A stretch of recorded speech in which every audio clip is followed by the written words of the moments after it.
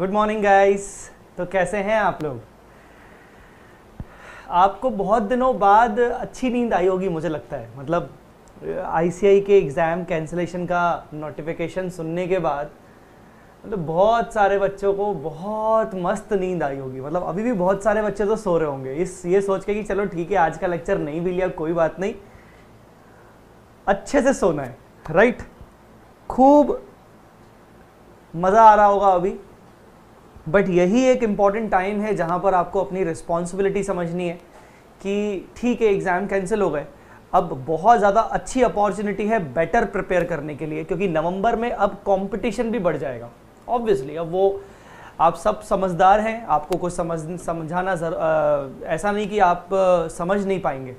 सब समझदार हैं नवंबर में कंपटीशन डेफिनेटली बढ़ने वाला है तो आप लोगों की प्रिपरेशन रुकनी नहीं चाहिए आप लोगों की प्रिपरेशन बल्कि और स्ट्रांग होनी चाहिए right whatever the decision में भी आप चाहे सिंगल ग्रुप दे रहे हो चाहे आप दोनों ग्रुप दे रहे हो चाहे पहले सिंगल का सोचा था अब दोनों का सोच रहे हो या फिर सेम सिंगल का ही सोच रहे हो अब पहले सोचा था कि एफ आर में 60 आने चाहिए अब सोचो कि एफ आर में 75 फाइव अबव आने चाहिए कम से कम हर सब्जेक्ट में अब ऐसी मेहनत करो कि 10 से 15 नंबर और बढ़ जाए ऐसी मेहनत करिएगा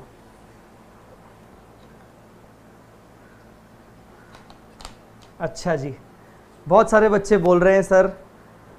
sir five hours sleep sleep भी बहुत ज़्यादा लगी सारी रात जागा हूँ सर कोई बात नहीं देखो प्लानिंग तो करना ज़रूरी है हम अकाउंट्स में भी क्या पढ़ते हैं at every balance sheet date you have to review your accounting policies accounting estimates तो ऑब्वियसली यार ये प्लानिंग करना तो ज़रूरी है प्लानिंग नहीं करोगे तो कैसे रहेगा इंसान को अपनी पढ़ाई की हर पंद्रह पंद्रह बीस बीस दिन में प्लानिंग को रिवाइज करना चाहिए कि अरे यार अब क्या छूट गया क्या और नया करना चाहिए वगैरह वगैरह so planning is a part and parcel of your your life actually okay चलिए यस डेफिनेटली मैं भी अब खुल के पढ़ाऊंगा रवि खुल के पढ़ाने का मेरा मेरा मतलब ये है कि आ, अभी तक क्या था थोड़ा सा एक यूं समझो कि करवाना तो सब पूरा ही था बट एक रिस्पॉन्सिबिलिटी टाइप का था यार उनतीस जून को पेपर है सॉरी उनतीस जुलाई को एग्जाम है उससे पहले किसी भी तरीके से ख़त्म करना है ख़त्म करना है अब मेरे ऊपर एक प्रेशर नहीं है मतलब ट्राई टू अंडरस्टैंड तुमसे एक बात शेयर करना चाहूँगा मैं मैं और दामिनी मतलब मेरी वाइफ बहुत टाइम से हम अपने घर नहीं गए हैं because of the COVID nineteen हम अपने घर नहीं जा पाए so now actually we are planning to go there for ten to fifteen days so बीच में uh, हमने मतलब जैसे ही मैंने ये इंडिया चार्ट रिविजन शुरू किया था तो आई थॉट कि यार अब तो ये शुरू किया है इसको ख़त्म करने के बाद ही जाऊंगा मतलब मेरा प्लानिंग था कि 20 बाईस जुलाई के अंदर अंदर ख़त्म करने के बाद ही जाऊंगा नहीं तो बच्चे लोग परेशान हो जाएंगे बट जैसे ही कल ये डिसीजन आया तो आई ऑल्सो थॉट कि यार अब क्योंकि थोड़ा सा टाइम गैप मिल गया है बड़ा टाइम है तो क्यों ना मैं अब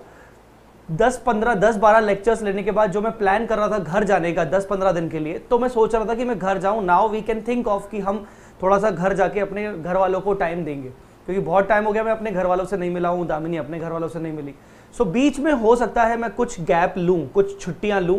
फिर बाद में आके फिर से मैं उसको कंटिन्यू करूँगा राइट अच्छा अब मुझे ये बताइए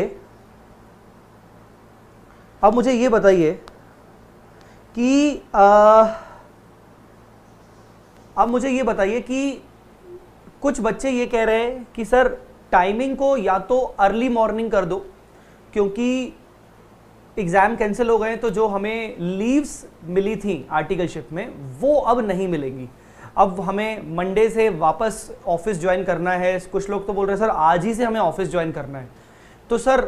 टाइमिंग या तो आप सुबह थोड़ा सा पहले रख दो ताकि हम आपकी क्लासेस को कवर अप कर लें तो वॉट आई एम थिंकिंग कि या तो हम सुबह सुबह का टाइम ही रखें सुबह आठ बजे से लेकर दस बजे तक का ताकि मैं भी इस बहाने बल्कि जल्दी उठ जाऊँगा मेरी जल्दी उठने की आदत नहीं है तो मैं भी उठ जाऊँगा सुबह आठ आठ बजे से लेकर दस बजे तक हम इसको निपटा लग निपटा सकते हैं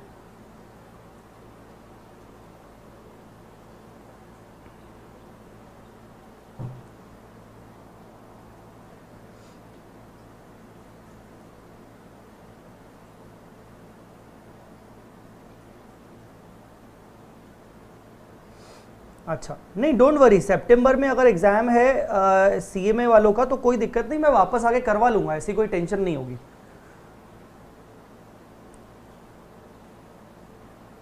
सी मैं इस फेवर में हूँ कि टाइमिंग सुबह रखें मैं मैं इसी फेवर में हूँ कि टाइमिंग सुबह रखें सुबह रखने से टाइमिंग में क्या है मुझे भी बहुत ज़्यादा काम दूसरे में निपटा सकता हूँ मेरी रिस्पॉन्सिबिलिटी खत्म हो जाती है और कहीं ना कहीं यार बच्चों का एक ऐसा है कि सुबह सुबह अगर क्लासेस आप कर लोगे ना ट्राई टू अंडरस्टैंड थोड़ा सा सोचो इस चीज़ को अगर आप रात को जल्दी सो जाओगे और सुबह अच्छे से आप उठ के ये जो दो घंटे आपके दो घंटे आप एवरेज मान के चलो कभी कभार दो के ढाई घंटे भी हो सकते हैं ये जो दो के ढाई घंटे आपके अगर जाएंगे ना पूरा दिन आप सोचो आपके पास कितनी अच्छी अपॉर्चुनिटी है क्योंकि बहुत सारे बच्चे अब ढीले पड़ गए जैसे ही एग्जाम का नोटिफिकेशन आया बहुत सारे बच्चे ढीले पड़ गए उन्होंने अपनी पढ़ाई छोड़ दी सीरियसली पढ़ाई छोड़ दी मतलब मजाक की बात नहीं है थोड़े से मजाक के मेंस तो मेंस तो आ ही रहे हैं बट सच्ची में अप्रॉक्स 50 परसेंट बच्चे ढीले पड़ गए तो मैं ये मानता हूं कि बल्कि मेरे पास एक अपॉर्चुनिटी है तुम लोगों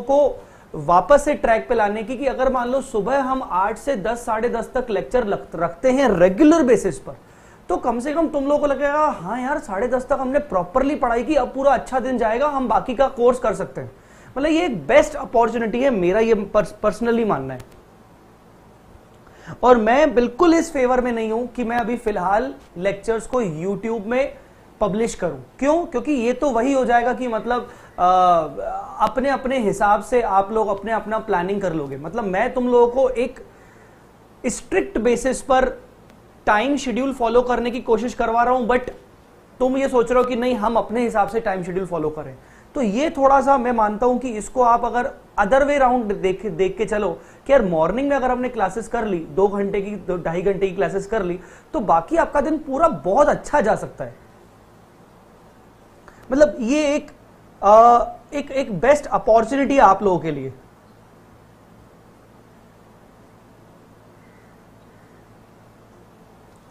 तो मेरा यह मानना है कि क्या होगा कि अगर मान लीजिए मैं वीडियो को पब्लिश नहीं करूंगा ना यूट्यूब पे तो एक टाइम बाउंडेशन आपके लिए रहेगा ही रहेगा मतलब you have to join the session किसी भी हाल में आपको वो सेशन ज्वाइन करना ही करना है तो ऐसे केस में क्या होगा कि आपके पास एक बाउंडेशन रहेगा कि यार नहीं करना ही करना है तो मतलब मैं आज का लेक्चर तो करना ही चाहता हूं तो इससे क्या है कि भले आप टाइम पे उठ जाओगे सुबह सुबह उठ जाओगे दो घंटे आप पढ़ लोगे उसके बाद यार कोई दिक्कत नहीं आप प्रॉपरली पूरा दिन अपना निपटाइए ग्रुप वन की पढ़ाई करिए ग्रुप टू की पढ़ाई करिए सो आई पर्सनली फील कि ऐसा होना चाहिए हाँ रही बात टाइम की रही बात टाइम की तो मैं ये मानता हूं कि टाइम सुबह आठ बजे भी रख सकते हैं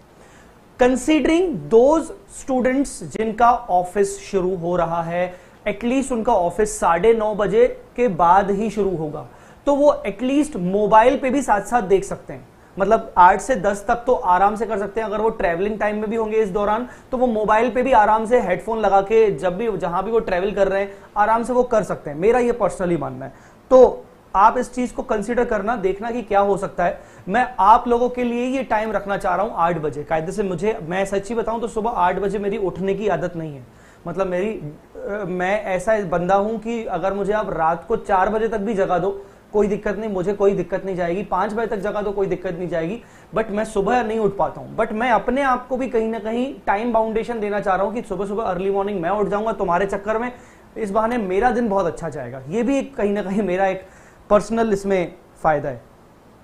एनीवेज अब स्टार्ट करते हैं इंडिया थर्टी एट बहुत ज्यादा टाइम हो गया तो आप इस चीज को सोचिएगा मेरा एक सजेशन था यही आपको राइट ओके अब आगे बढ़ते हैं देखिए 24 घंटे लेक्चर रखना पांच घंटे रखना दस घंटे रखना ये तो वही हो जाएगा कि मतलब आप उस टाइम बाउंडेशन में नहीं आ रहे हो आप वो शेड्यूल फॉलो नहीं कर रहे हो ये एक बहुत बड़ा दिक्कत वाला काम है ठीक है ना एक तो स्टूडेंट्स जब लेक्चर ना हो तो स्टूडेंट लेक्चर बोलते हैं कि सर लाइव हो तो ज्यादा मजा आएगा अब जब लाइव लिए जा रहे हैं तो बच्चा बोल रहा है कि सर लाइव ना हो तो ज्यादा मजा आएगा हम अपने हिसाब से देख लें सो so, मतलब ये तो हर अपने अपने तरीके से हुआ सो so, मैंने चैट को डिसेबल कर दिया है just because of the reason कि अब मैं स्टार्ट कर रहा हूं सेशन को सेम रहेगा बीच बीच में मैं चैट को इनेबल करूंगा ताकि आपसे मैं कुछ चीजें पूछ सकूं आपसे डाउट्स ले सकूं और लास्ट में हम डाउट्स लेंगे राइट right? हमारे इंडेस 38 का नाम है इंटेंजिबल असेट्स इससे पहले हमने असेट बेस्ड स्टैंडर्ड कौन सा पढ़ा था हमने पढ़ा था Ind AS 16 property plant and equipment इससे पहले कौन सा पढ़ा था इंडेस 12 डेफर्ड टैक्सेस मतलब इनकम टैक्सेस डेफर्ड टैक्सेस सबसे पहले पढ़ाने का रीजन इंडेस 12 पढ़ाने का रीजन कि इसका लिंकिंग मैक्सिमम स्टैंडर्ड में रहता है जैसे हमने पीपीई e में देखा कि अगर आप पीपीई e को रीवैल्यू भी करते हो तो उसका कैरिंग अमाउंट बदल जाता है उसके टैक्स बेस से बदल जाता है तो इससे डीटीएल क्रिएट हो सकता है थ्रू ओसीआई राइट तो इसका इंपैक्ट कहीं ना कहीं इंडिया ट्वेल्व का इंपैक्ट कहीं ना कहीं इंटेंजिबल असेट्स के ऊपर भी होने वाला है राइट ठीक है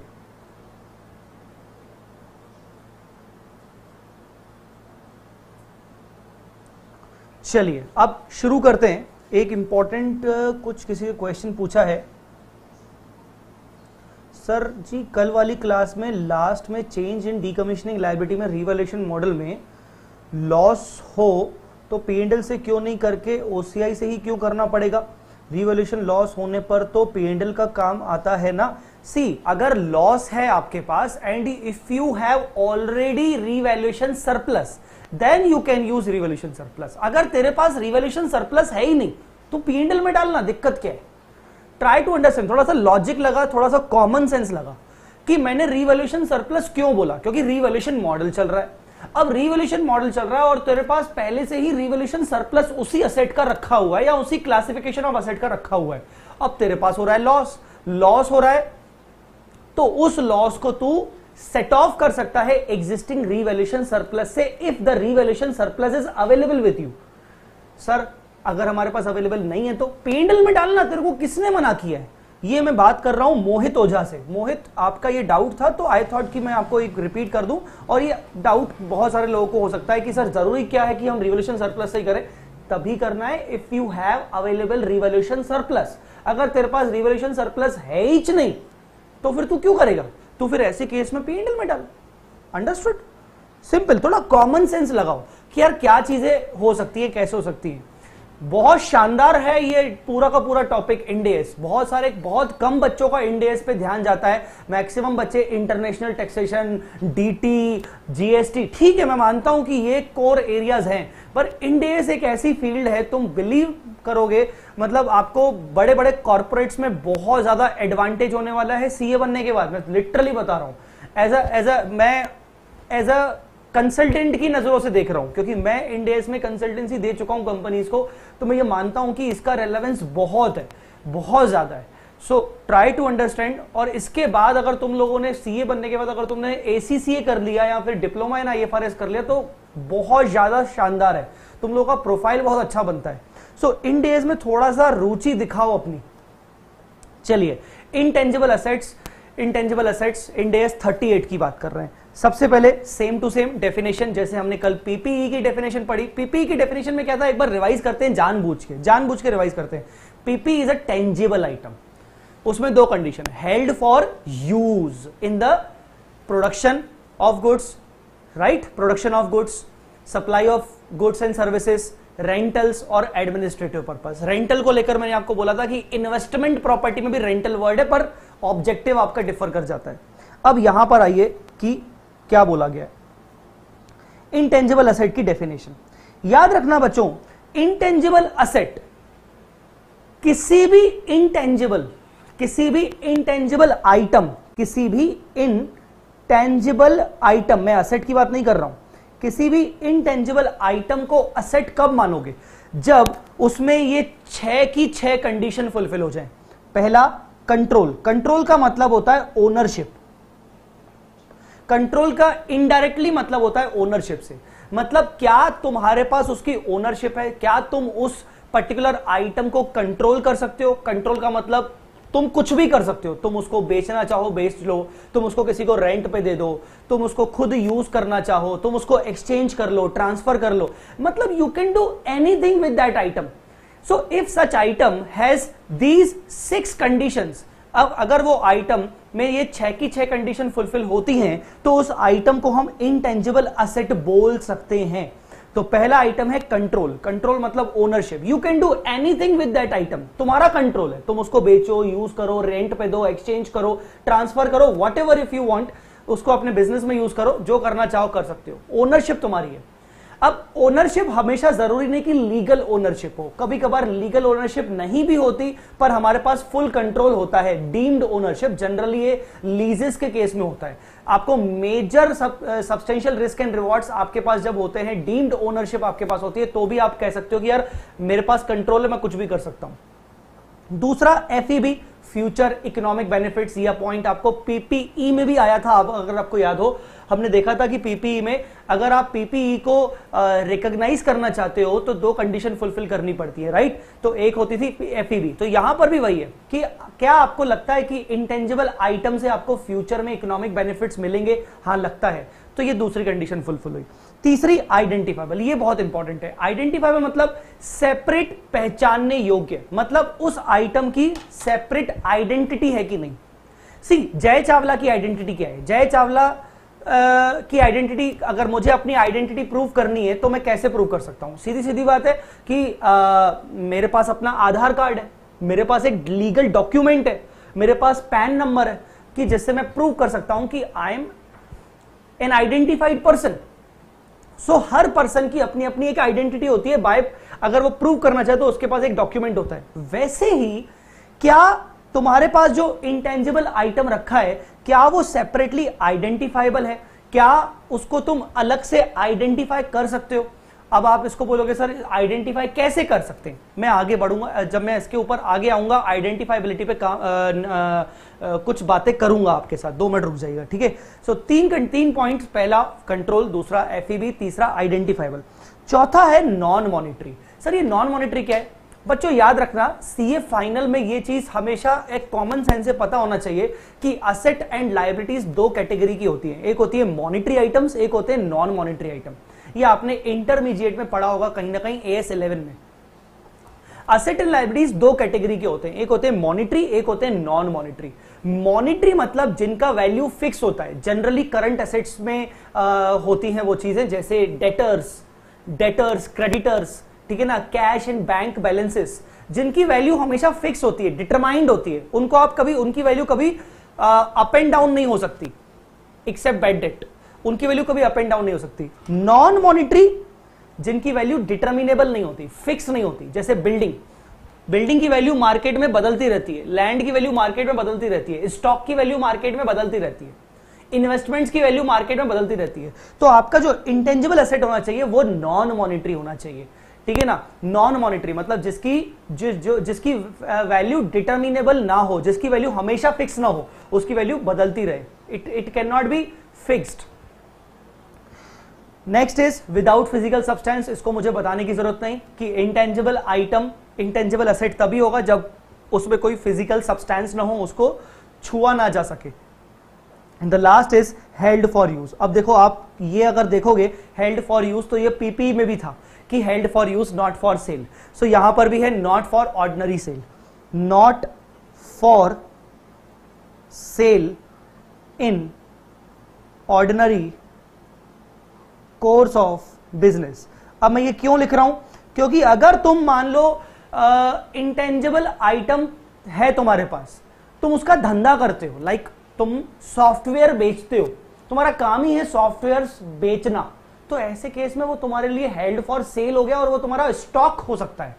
बट हेल्ड फॉर यूज होना चाहिए जो कि तुम्हारे बिजनेस में काम आएगा तभी उसको तुम इंटेंजिबल असेट की कैटेगरी में रखोगे सो इंटेंजिबल असेट होने के लिए छह कंडीशन होना जरूरी है the number one control that is it is in relation to ownership दूसरा future economic benefits are expected to flow मुझे लगता है कि मुझे फ्यूचर में इकोनॉमिक बेनिफिट्स होंगे तीसरा आइडेंटिफाइबल सेपरेट पहचान राइट सेपरेट पहचान चौथा नॉन मॉनिटरी मतलब value is not value should not be fixed should not be determinable इसकी वैल्यू अप्स एंड डाउन मतलब इट कैन बी चेंज्ड और पांचवा विदाउट फिजिकल सब्सटेंस और six six is held for use तो ये होता है आपका इंटेंजिबल असेट मैंने बोला कि किसी भी इंटेंजिबल आइटम को असेट मानने के लिए छह की छह कंडीशन फुलफिल होनी चाहिए अब आते हैं देखो आइडेंटिफाइबल आ गया आइडेंटिफाइबल पर जो इंपॉर्टेंट वर्ड था उस पर अपन आ रहे हैं आइडेंटिफाइबल सर ये आइडेंटिफाइबिलिटी से क्या मतलब है आइडेंटिफाइबल मतलब सेपरेबल सेपरेबल शुरू से ही आपने उसको सेपरेट रखा है जैसे कॉपीराइट अब कॉपीराइट ट्रेडमार्क ये क्या ऐसे ही हो जाते हैं क्या मैं अपने प्रोडक्ट के ऊपर टीएम लिख दू तो वो ट्रेडमार्क बन जाएगा नहीं मुझे ट्रेडमार्क का लाइसेंस लेना पड़ता है मुझे अपने अगर मुझे अपने किसी पर्टिकुलर आइटम का ट्रेडमार्क करवाना है मुझे अपनी बुक का कॉपीराइट करवाना है तो मुझे एक्चुअली उसके लिए अप्लाई करना पड़ता है इंटेलेक्चुअल प्रॉपर्टी एक्ट के थ्रू और मुझे उसका लाइसेंस मिलता है दस साल के लिए कि चलो ये चीज का मेरा कॉपीराइट हो गया ट्रेडमार्क हो गया तो मेरे पास लीगल डॉक्यूमेंट है आई कैन आइडेंटिफाई इट की यस ये मेरी एक सेपरेट चीज है ठीक है आई मेरी बात समझ में कि नहीं बहुत सारे केसेस में ऐसा होता है कि आप अपनी असेट को सेपरेटली आइडेंटिफाई नहीं कर पाते राइट right? जैसे मैं आपको बोलूं कि आपने एक मशीन लिया आपने एक सिस्टम लिया आपने एक मशीन लिया अब वो एक टेंजिबल आइटम है बट उसके अंदर मान लीजिए कुछ सॉफ्टवेयर लगे हुए अब उन सॉफ्टवेयर को आप सेपरेटली यूज नहीं कर सकते आप उन सॉफ्टवेयर को उसी मशीन के अंदर ही यूज कर सकते हो तो जब आप मशीन लेके आते हो तो आप ये नहीं बोलते हो कि मैंने मशीन लिया और मैंने सॉफ्टवेयर लिया आप अल्टीमेटली उसको टेंजिबल आइटम मानते हुए पूरा का पूरा पीपी e दिखाते हो भले उसमें कुछ सॉफ्टवेयर शामिल होते हैं क्यों क्योंकि उन सॉफ्टवेयर की सेपरेट आइडेंटिटी नहीं है आप उनको सेपरेटली कभी सेल नहीं कर सकते सेपरेटली यूज नहीं कर सकते वो सॉफ्टवेयर उस मशीन के साथ ही यूज होंगे सिर्फ ठीक है दूसरा आइडेंटिफाइबल से आप ये भी समझ सकते हो अराइजिंग थ्रू अ कॉन्ट्रैक्ट अगर आपको ये पता करना है कि यार ये इंटेंजिबल असेट आइडेंटिफाइबल है कि नहीं है तो आप ये चेक करो कि ये इंटेंजिबल असेट का जन्म कैसे हुआ ये अराइज कैसे हुई ये इंटेंजिबल असेट बनी कैसे क्या ये किसी कॉन्ट्रैक्ट के थ्रू तो नहीं बनी दो पार्टीज के बीच में जैसे मैंने आपको मान लीजिए राइट दिया मैं हूं टेलीकॉम डिपार्टमेंट मैंने आपको राइट दिया आप हो मान लीजिए रिलायंस जियो मैंने आपको राइट दिया कि तुम महाराष्ट्र में पंद्रह साल तक अपना फोर और फाइव नेटवर्क चला सकते हो मैंने तुम्हें लाइसेंस दिया now this licence between uh, th this license is considered as intangible asset and it is identifiable because it arises through a contract it arises through a contract so so generally जो identify identity होती है उसके लिए कोई ना कोई contract हमने किया होगा उससे तुम बोल सकते हो कि यार ये एक अलग सेपरेट असेट है अगर कॉन्ट्रैक्ट नहीं है अगर सेपरेट कॉन्ट्रैक्ट नहीं है तो भी वो हो सकता है आइडेंटिफाइबल हो अगर वो सेपरेबल है सेपरेबल मतलब can be sold used transferred rented separately मतलब सीधी सीधी बात है आइडेंटिटी दो तरीके से चेक कर सकते हो या तो वो किसी कॉन्ट्रैक्ट के थ्रू जन्म हुआ होगा उसका तो सीधी बात है ये तो सेपरेटली आइडेंटिफाइबल है क्योंकि ये सेपरेट कॉन्ट्रैक्ट के थ्रू जन्म हुआ लाइसेंस हुआ कॉपीराइट हुआ ये सब कॉन्ट्रैक्ट ही तो है और दूसरा या तो अगर वो किसी कॉन्ट्रैक्ट के थ्रू जनरेट नहीं हुआ है जैसे सॉफ्टवेयर आपने एक सॉफ्टवेयर बनाया अब इसमें कोई कॉन्ट्रैक्ट थोड़ी है मैंने किसी के साथ कॉन्ट्रैक्ट थोड़ी किया तो क्या ये सॉफ्टवेयर आइडेंटिफाइबल है क्या मुझे ये चेक करना पड़ेगा क्या मैं सॉफ्टवेयर को सेपरेटली यूज कर सकता हूं किसी को रेंट पे दे सकता हूं किसी को सेल कर सकता हूं अगर ऐसा कर सकता हूं उसके लिए मुझे किसी हार्डवेयर की जरूरत नहीं है किसी और आइटम की जरूरत नहीं है तो ये तो भी ये आइडेंटिफाइबल है कंट्रोल कंट्रोल का मतलब क्या होता है कंट्रोल मतलब मैंने आपको बोला ओनरशिप मतलब तुम्हारे पास पावर है कि तुम फ्यूचर इकोनॉमिक बेनिफिट सामने वाली असेट से सामने वाले आइटम से जनरेट करने की क्षमता रखते हो और तुम दूसरों को रेस्ट्रिक्ट कर सकते हो कि वो लोग फ्यूचर दूसरे कोई भी थर्ड पार्टी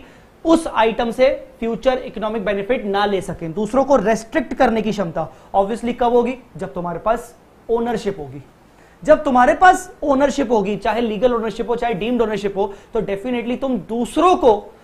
उस असेट से फ्यूचर इकोनॉमिक बेनिफिट लेने से रोक पाओगे because no one can use that because it is yours ultimately so you have the power to generate F EB and you can restrict me and others not to generate F from your item because it is yours it is yours means it is of your ownership so so, control का मतलब कहीं ना कहीं यह है कि तुम F generate e करने का पावर रखते हो साथ ही साथ कोई और नहीं रखता उस असेट से क्योंकि वो तुम्हारी है तुम दूसरों को रेस्ट्रिक्ट कर सकते हो आई मेरी बात समझ में क्लियर अच्छा फ्यूचर इकोनॉमिक बेनिफिट्स किस फॉर्म में होते हैं या तो रेवेन्यू आपका इंक्रीज होगा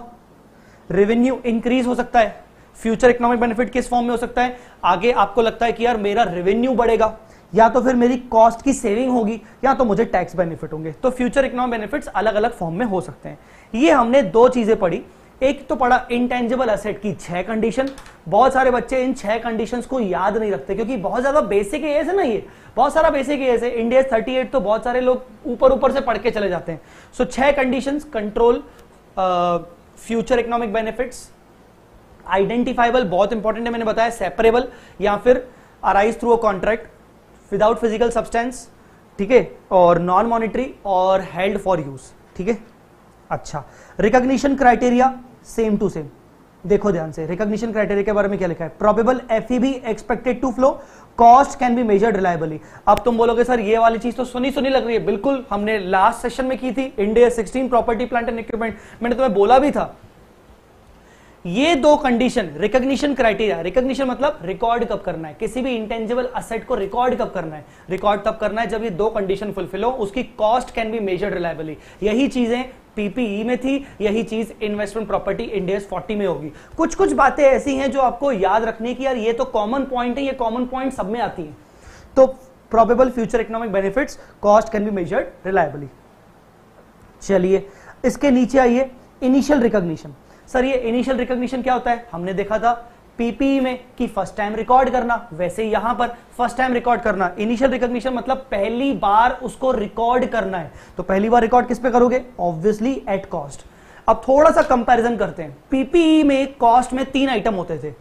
पीपीई e में कॉस्ट में तीन आइटम होते थे purchase price including non refundable duties and taxes directly attributable cost जिसमें generally labour consultancy installation transportation ये सारे खर्चे फ्रेट कैरेज और तीसरा था decommissioning restoration dismantling liability at present value किसी बच्चे ने पूछा था किसी बच्चे ने पूछा था मुझसे कल डाउट कि सर इसका मतलब वो जो तीसरा वाला है वो कॉस्ट में नहीं आएगा मैंने बल्कि बोला था कि बेटा कॉस्ट में आएगा वो जो सेवन करोड़ वाला मतलब पीपी की कॉस्ट में तीन चीजें आती हैं इंटेंजिबल असेट के केस में पीपी की कॉस्ट में सिर्फ दो चीजें आती हैं यहां पर कोई डीकमिशनिंग वगैरह कुछ नहीं होता सर क्यों नहीं होता अरे भाई इंटेंजिबल है तू उसको अनइंस्टॉल कैसे करेगा इंटेंजिबल असेट है उसको वी कैन नॉट एक्सपेक्ट कि यार अनइंस्टॉल करते टाइम हमारा उसका खर्चा होगा ऐसा कुछ नहीं हुई वो किसी टेंजिबल पोर्शन पे इंस्टॉल नहीं है हमें उसको किसी कहीं जगह से रिस्टोर करने के लिए कुछ नहीं लगेगा तो जनरली जनरली मतलब in case 99.99 percent even I don't have any real life example की कहीं पर डीकमीशनिंग डिसमेंटलिंग होती होगी इफ यू हैव तो you can tell me so cost में दो चीजें आएंगी cost is equal to purchase cost plus directly attributable cost आई बात समझ में परचेज कॉस्ट और डायरेक्टली एट्रीब्यूटेबल कॉस्ट बट याद रखना यह बहुत ही इंपॉर्टेंट है कि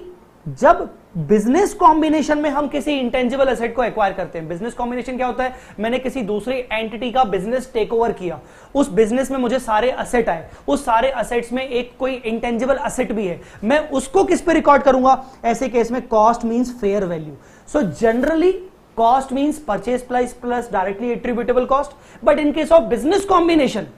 in case of business combination the cost must be the fair value on acquisition date date of acquisition जिस दिन मैंने खरीदा जिस दिन मुझे कंट्रोल प्राप्त हुआ सामने वाले के बिजनेस में उस दिन का उस इंटेंजिबल आइटम का फेयर वैल्यू क्या था मैं उतने पे रिकॉर्ड करूंगा in case of business combination और ये पॉइंट आपका पीपीई e में भी सेम रहेगा कि अगर आप पीपी एक्वायर e करते हो through business combination you have to record uh, record it at fair value the fair value must be the cost see आपको ये पॉइंट समझ में आ गया होगा इनिशियल रिकॉग्निशन ठीक है ना हमने क्या क्या पढ़ा हमने पढ़ा इंटेंजिबल एसेट का डेफिनेशन जिसमें छह कंडीशन फुलफिल होनी चाहिए इंटेंजिब uh, उसमें आइडेंटिफाइबिलिटी सबसे इंपॉर्टेंट थी क्या होती है कंट्रोल मतलब क्या होता है एफ e किस किस रूप में हो सकते हैं रिकॉग्निशन क्राइटेरिया वही कॉमन चीज जो हमने पीपीई e में पढ़ी थी फिर हमने पढ़ा कि इनिशियल रिकॉग्निशन में कॉस्ट मतलब क्या कॉस्ट मतलब दो चीजें तीसरी चीज डिकमीशनिंग की नहीं आएगी बट अगर बिजनेस कॉम्बिनेशन की बात चल रही है तो उसमें अगर खरीदोगे तो ऐसे केस में कॉस्ट मीन फेयर वैल्यू चलो ये तीन पॉइंट तो आपको समझ में आ गए होंगे चौथा पॉइंट देखते हैं that is subsequent expenditure sir ये भी पीपीई में था याद करो सब्सिक्वेंट एक्सपेंडिचर मतलब एक बार तुमने पीपीई को रिकॉर्ड कर लिया ओ सॉरी पीपी बोल रहा हूं इंटेंजिबल असेट को रिकॉर्ड कर लिया रिकॉर्ड करने के बाद हो सकता है तुम दो चार महीने बाद उसके ऊपर और खर्चा कर रहे हो एक दो साल बाद और खर्चा कर रहे हो जब तुम सब्सिक्वेंट एक्सपेंडिचर करोगे उस इंटेंजिबल आइटम पे तो क्या उसको तुम्हें कैपिटलाइज करना है कि रेवेन्यू में चार्ज करना है हमने पीपीई e में भी यही पॉइंट देखा था सर आप बार बार बार बार पीपीई e से कंपेयर क्यों कर रहे हो क्योंकि ये अगर स्टैंडर्ड आप पीपीई e से कंपेयर करते चलोगे मैं गारंटी दे रहा हूं आप और स्ट्रांग करोगे इस इस स्टैंडर्ड को कुछ ऐसे स्टैंडर्ड्स हैं जिनकी लिंकिंग करना जरूरी है तभी तो मैं आपको असेट बेस्ड स्टैंडर्ड एक साथ पढ़ा रहा हूं असेट बेस्ड स्टैंडर्ड एक साथ पढ़ने का रीजन ही है कि ताकि आप हर स्टैंडर्ड को एक दूसरे के साथ लिंक कर सको ताकि दिमाग में जल्दी वो चीज बैठे सब्सिक्वेंट एक्सपेंडिचर पीपी में देखा था कि अगर day to day revenue type के खर्चे हो रहे हैं तो वो पीडल में जाएंगे बट अगर कोई बड़े बड़े रिप्लेसमेंट टाइप के खर्चे हो रहे हैं इंस्पेक्शन टाइप के खर्चे हो रहे हैं तो वो कैपिटलाइज होंगे यहां पर भी सेम है कि अगर कोई सब्सिक्वेंट एक्सपेंडिचर करने से इंटेंजिबल असेट में फ्यूचर इकोनॉमिक बेनिफिट्स ऑन करने की क्षमता एफिशिएंसी अगर बढ़ जाती है तो you have to capitalise that expenditure otherwise charge to P and L so if the efficiency to earn future economic benefits will increase हमें लगता है कि हमारे एक्सपेक्टेड बेनिफिट्स बढ़ रहे हैं एक्सपेंडिचर करने से तो definitely you have to capitalise चलो ये पॉइंट्स क्लियर अब खुशी की बात बार बार बोलूंगा इंडिया 16 से बार बार बार बार लिंक करना जरूरी है क्योंकि उतना ही स्ट्रांग होगा कहीं ना कहीं अब देखो ध्यान से payment beyond normal credit period क्या ये पॉइंट हमने नहीं पढ़ा था ये पॉइंट हमने पढ़ा था कल भी अगर तुम इंटेंजिबल असेट खरीदते हो और क्रेडिट पे खरीदते हो मतलब तुम उसका पेमेंट बाद में करोगे या फिर तुम पेमेंट उसका इंस्टॉलमेंट में करोगे पेमेंट अगर तुम उसका इंस्टॉलमेंट में करते हो तो ऐसे केस में ऐसे केस में आ, उस इंटेंजिबल एसेट की कॉस्ट क्या होगी जितना पूरा का पूरा कंसिडरेशन होगा क्या वो कॉस्ट होगी the answer is no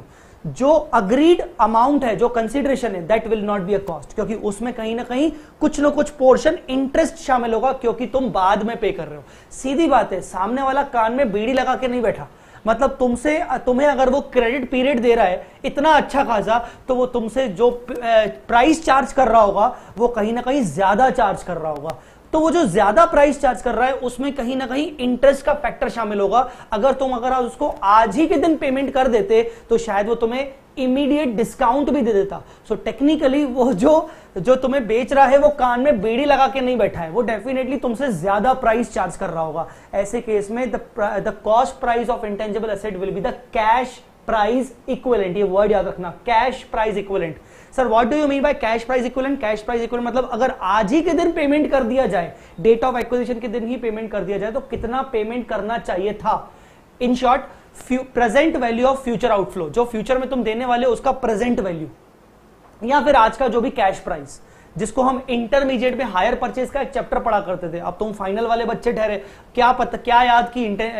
intermediate में क्या पढ़ा था आईपीसीसी में क्या पढ़ा था पर थोड़ा सा याद रखो आईपीसीसी में तुमने पढ़ा था हायर परचेज हायर परचेज के चैप्टर में हम कैश प्राइस पे असेट को रिकॉर्ड करते थे इंटरेस्ट को अलग दिखाते थे तो वही कोई फंडा है तो इंटरेस्ट अलग से जाएगा अब ये पॉइंट हमने कल भी डिस्कस किया था एक्सचेंज एक्सचेंज का पॉइंट भी हमने कल डिस्कस किया था fair value of asset given up को फर्स्ट प्रायोरिटी देंगे fair value of asset received को सेकंड प्रायोरिटी देंगे और फेयर वैल्यू अगर है ही नहीं तो ऐसे केस में carrying amount of asset given जो हमारे यहां से असेट जा रही है उसको अपन प्रायोरिटी देंगे तो मुझे नहीं लगता कि इसमें आपको इन दोनों पॉइंट्स में कोई डाउट होगा यहां तक पॉइंट्स क्लियर हैं इतने सारे पॉइंट्स हमने पढ़ लिए मैं दो मिनट के लिए चैट को इनेबल कर रहा हूं क्योंकि थोड़ा सा टाइम हो गया है मैं पूछ लूं कि आपको कोई डाउट तो नहीं है फिर अपन आगे बढ़ते हैं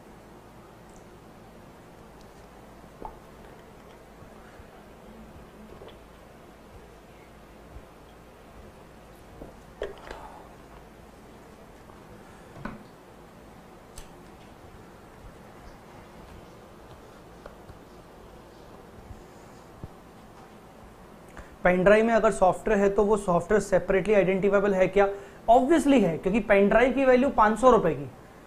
सॉफ्टवेयर की वैल्यू करोड़ों रुपए की हो सकती है तो वो डेफिनेटली आइडेंटिफाइबल हो सकता है Tanvi hello hello hello volume आ रहा है ना हेलो हेलो हेलो मुझे कंफर्म करके बताओ कि वॉल्यूम आ रहा है कि नहीं साउंड आ रहा है कि नहीं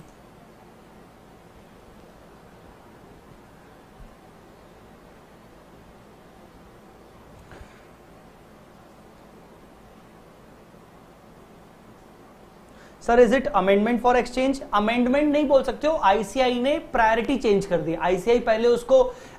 गिवन अप को देता था प्रायोरिटी अब उसने सॉरी सॉरी पहले रिसीव्ड को देता था अब वो गिवन अप को देता है सर शेयर इज मॉनिटरी और non monetary share is non monetary share is non monetary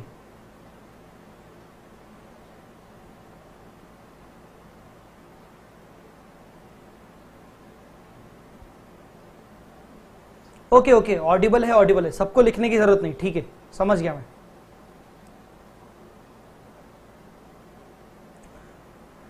sir business combination में अगर फेयर वैल्यू ना हो तो बुक वैल्यू पर ही लेंगे ना सर ऑब्वियसली अगर क्वेश्चन में आपको फेयर वैल्यू नहीं दे रहा है तो आप सामने वाली कंपनी की बुक वैल्यू पर ही लोगे डेफिनेटली सर आप वन डे रिविजन करवा दो ना एफ का मजा आएगा गुप्ता जी ये चल क्या रहा है ये क्या चल रहा है मतलब ये हो क्या रहा है सर गुप्ता जी क्या पूछ रहे हैं आप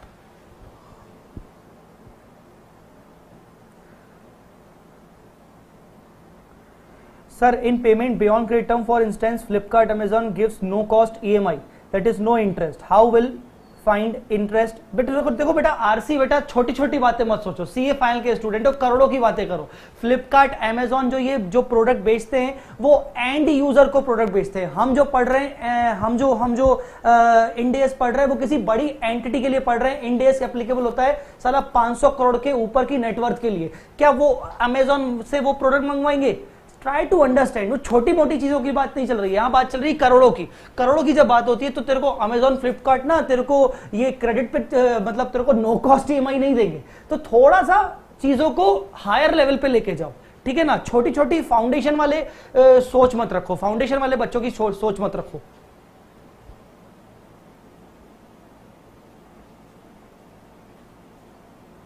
सर अराइज थ्रू कॉन्ट्रैक्ट का एग्जाम्पल बिजनेस कॉम्बिनेशन हो सकता है क्या अराइज थ्रू कॉन्ट्रैक्ट हो सकता है बट पूरी तरीके से नहीं क्योंकि बिजनेस कॉम्बिनेशन में हमने खरीद लिया तो it is acquisition actually amortisation of intangible भाई वैभव अमोटाइजेशन पूछ रहे हो बाद में आएगा ना पॉइंट जल्दी है क्या मतलब कहीं भागे जा रहे हो क्या ट्रेन भागे जा क्या तुम्हारा एग्जाम कल ही है क्या तुम तुम क्यों वो बच्चे तो नहीं है जिसमें आई से ने लिखा था we are committed to take the exam even if one student is ready तुम वो वन स्टूडेंट तो नहीं हो रहे वैभव जिसका एग्जाम अभी तुम्हारा उनतीस जुलाई को होगा इतना जल्दी पूछ रहे हो तुम गुप्ता जी बोल रहे हैं इंटायर फालतू चीज अभी मैं मुद्दे पे आए sir why first priority is given to वो तो मैं भी नहीं बोल सकता वाई टेक्निकली सच्ची बताऊं इसके पीछे लॉजिक क्या है कोई लॉजिक नहीं है पॉइंट ये है इंडियस कभी बोलता ही नहीं कि फर्स्ट प्रायोरिटी आपको गिवन को देगी इंडियस बोलता है जो भी फेयर वैल्यू आपको क्लियरली एविडेंट हो in real life first priority given आपको नहीं दी जाती in real life first priority दी जाती है उसको जहां पर आप फेयर वैल्यू ज्यादा एविडेंट है टेक्निकली आईसीआई गिवन आपको देता है हम क्या करें तो हमारे ये एग्जाम के लिए इंपॉर्टेंट है बस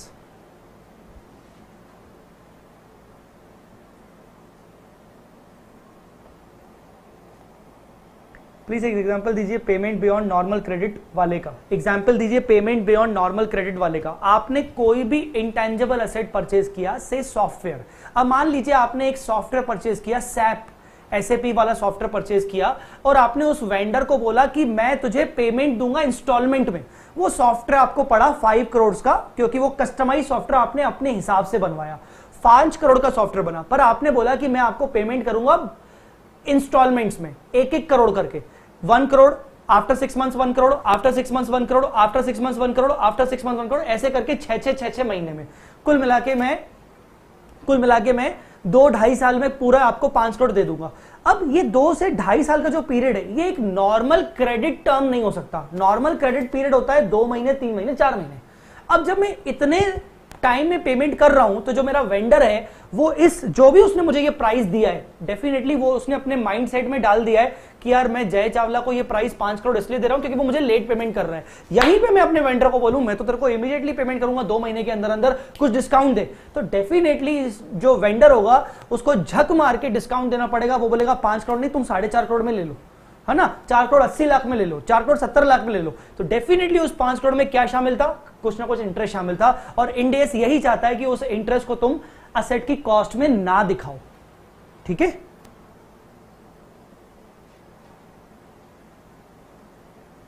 जर्नलिस्ट जैसे बोल रहे हो सबको मैंने कब जर्नलिस्ट जैसा बोला यार telecom company ringtone how future economic benefit can be measured see telecom company ringtone पहले के जमाने में ऐसा होता था कि रिंगटोन भी सेल होती थी रिंगटोन को बेचा जाता था जिससे रेवेन्यू जनरेट होता था but now it is ringtone is kind of a free thing क्योंकि जब से इतना ज्यादा यूट्यूब और सोशल मीडिया इतना बढ़ गया है तो ये रिंगटोन रिंगटोन फ्री हो गई तो रिंगटोन पहले के टाइम पर जब रिंगटोन एक्चुअली परचेज की जाती थी कस्टमर को रिंगटोन uh, खरीदने के लिए कुछ सब्सक्राइब करना पड़ता था सब्सक्रिप्शन का अमाउंट देना पड़ता था उस टाइम पे अपन कहते थे कि वो एक कहीं कहीं ना कहीं फ्यूचर इकोनॉमिक बेनिफिट्स दे रहा है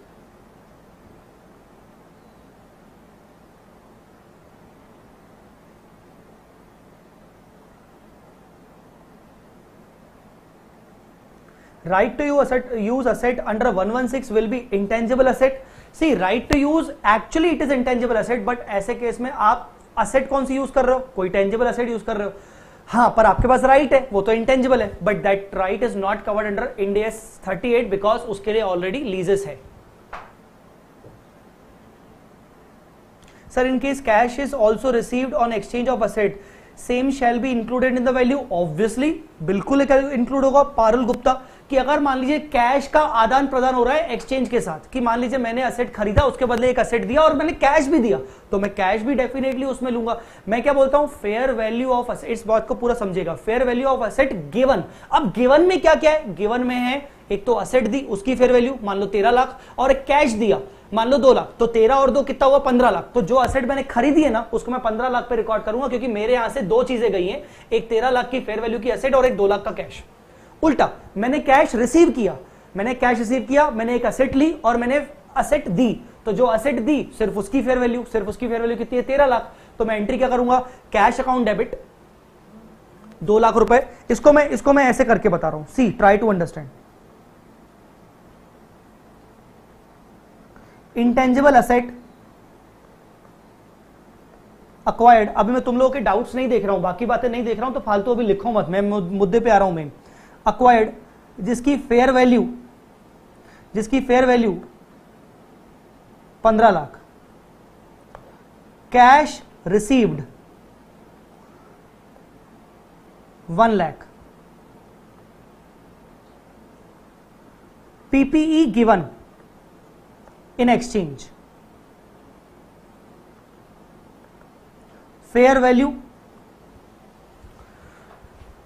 PP given in exchange fair value पंद्रह लाख अस्सी हजार ना try to understand try to understand यहां पर दोनों फेयर वैल्यूज दिए हुए हैं समझने की कोशिश करना यहां दोनों फेयर वैल्यूज दिए हुए हैं बट यहां पर बोला क्या जा रहा है बोला यह जा रहा है कि इंटेंजिबल असेट को तुम रिकॉर्ड करोगे at the fair value of asset given at the fair value of asset given तो यहां पर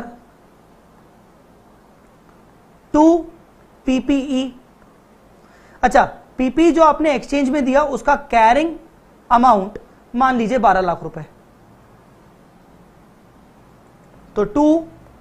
पीपीई e बारह लाख रुपए क्योंकि कैरिंग अमाउंट बारह लाख रुपए intangible asset account debit intangible asset account debit cash account debit intangible अब मुझे बताइए आप में से जितने भी जितने सारे लोग हैं मुझे बताइए कितना वैल्यू आना चाहिए मैं आपसे पूछना चाहता हूं सभी लोग बताइए कितना वैल्यू आना चाहिए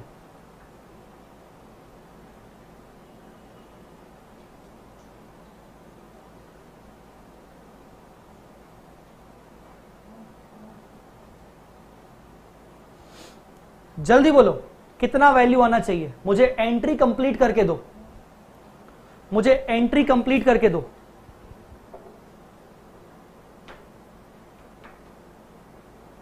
कैश तो one lakh yes cash one lakh और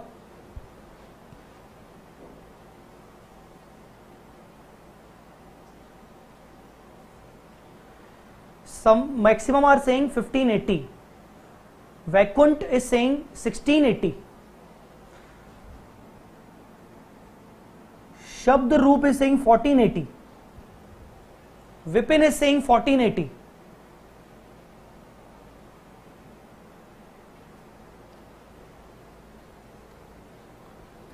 आप जानते हो लॉजिक क्या है किस तरीके से जमाना है आपके यहां से जो पीपीई e गया है गिवन है उसकी फेयर वैल्यू कितनी है 1580 आपको ओवरऑल जो भी रिसीव हुआ है जो भी रिसीव हुआ है आपने इंटेंजिबल असेट रिसीव किया आपने कैश रिसीव किया आपको अल्टीमेटली जितना पोर्शन रिसीव हुआ है उस ओवरऑल रिसीव को 1580 पे रिकॉर्ड करना है आपको जितना सारा रिसीव हुआ है मैं हिंट दे रहा हूं आपको जितना सारा रिसीव हुआ है जितना सारा रिसीव हुआ है आपको सबको मिलाकर 1580 पे रिकॉर्ड करना है आपको सबको मिलाकर 1580 पे रिकॉर्ड करना है आपको सबको मिलाकर 1580 पे रिकॉर्ड करना है तो सोचो असेट की यहां पर असेट में कितना आएगा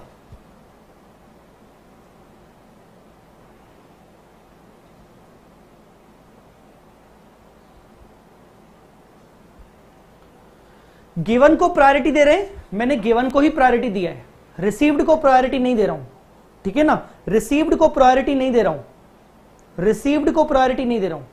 आपके यहां से गया क्या है आपके यहां से गया क्या है 1580 आपके यहां से 1580 गया है तो मुझे कुल मिला के जो भी रिसीव हुआ मुझे कैश रिसीव हुआ इंटेंजिबल एसेट रिसीव जितना भी सब कुछ रिसीव हुआ मुझे 1580 पे ओवरऑल एग्रीगेट मुझे 1580 पे रिकॉर्ड करना है इसका मतलब मैं ये बोलना चाह रहा हूं कि मुझे कुल मिला के जो भी रिसीव हुआ मुझे एग्रीगेट 1580 पे रिकॉर्ड करना है एग्रीगेट 1580 पे रिकॉर्ड करना है तो इसीलिए मैं इसको कितने पे रिकॉर्ड करूंगा 1480 पे ट्राई टू अंडरस्टैंड मैं इसको रिकॉर्ड करूंगा 1480 पे क्लियर मेरे मेरे बुक्स में से जो असेट जा रही है मैंने कहीं ना कहीं कंसिडरेशन में क्या दिया मैंने पीपीई e कंसिडरेशन में दिया मतलब मैंने अल्टीमेटली पंद्रह लाख अस्सी हजार रुपए की पीपीई e आज दी है मतलब मैंने पंद्रह लाख अस्सी हजार रुपए दिए हैं क्या अक्वायर करने के लिए इंटेंजिबल और कैश लेने के लिए तो कहीं ना कहीं इंटेंजिबल और कैश मिलाकर आज पंद्रह अस्सी के होने चाहिए आज इंटेंजिबल असेट और कैश मिलाकर 1580 के होने चाहिए तो कुल मिलाकर यहां पर कितना आएगा 1480 यहां पर आएगा 1480 same in case of earlier वाला स्टैंडर्ड इंडिया 16 पीपी वाला ठीक है तो यहां पर आपका 1480 आएगा मैं फिर से रिपीट कर रहा हूं क्योंकि मैं जानता हूं कि इसमें बच्चे बहुत ज्यादा उलझते हैं और अभी भी डाउट आ रहा होगा ट्राई टू अंडरस्टैंड तेरे यहां से क्या गया तेरे यहां से गया पीपीई e। उसकी फेयर वैल्यू कितनी है पंद्रह अस्सी तो तू ये सोच कि तूने पंद्रह अस्सी का कैश दिया क्या एक्वायर करने के लिए इंटेंजिबल असेट एक्वायर करने के लिए और कैश एक्वायर करने के लिए तो जो भी तेरे पास आ रहा है सब कुछ मिलाकर तूने उसके लिए पंद्रह अस्सी दिया तूने पंद्रह अस्सी खाली खाली इंटेंजिबल असेट के लिए नहीं दिया तूने पंद्रह अस्सी इन दोनों के लिए दिया तूने पंद्रह अस्सी इन दोनों के लिए दिया तो अल्टीमेटली तू इन दोनों को मिलाकर पंद्रह अस्सी पे रिकॉर्ड करेगा ट्राई टू अंडरस्टैंड ठीक है अब बाकी बचा तेरा गेन तो टू गेन होगा पी एंडल में जाएगा फिफ्टीन एट्टी माइनस ट्वेल्व तो थ्री एट्टी ठीक है कैश दस लाख कैश एक लाख है ना भाई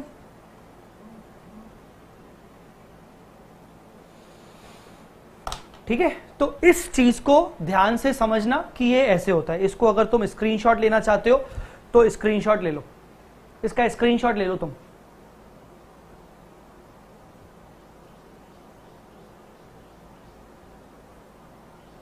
निखिल चोपड़ा बार बार बार बार एक ही चीज पूछोगे तो क्या होगा भाई यस वो डेफिनेशन में आता है मैंने भी तो डेफिनेशन में ही करवाया था ना मैंने भी तो वो चीज डेफिनेशन में बोली ना बार बार एक ही चीज पीछे पड़े हो Nikhil you are a CA final student ठीक है अगर कोई चीज का रिप्लाई नहीं मिल रहा है तो थोड़ी देर के लिए छोड़ दो बाद में मुझसे व्हाट्सएप पे टेलीग्राम पे पूछ लेना उस चक्कर में तुम बाकी चीजें क्यों वेस्ट कर रहे हो अपनी ट्राई टू अंडरस्टैंड जब आप एक ही चीज बार बार बार बार बार बार पूछते हो तो आपका एक ईगो सामने दिखता है कि यार मुझे तो मेरा आंसर चाहिए इस ईगो की वजह से आपको बाकी चीजें नहीं समझ में आती हैं ठीक है तो मैं नहीं चाह रहा हूं कि आपका नुकसान हो आपकी ईगो की वजह से ठीक है अगर मैं आपको जवाब नहीं दे रहा हूं तो आप वो चीज टेलीग्राम पे सेपरेटली पूछ लेना आप वो मुझसे व्हाट्सएप पे पूछ लेना मैंने मना थोड़ी किया है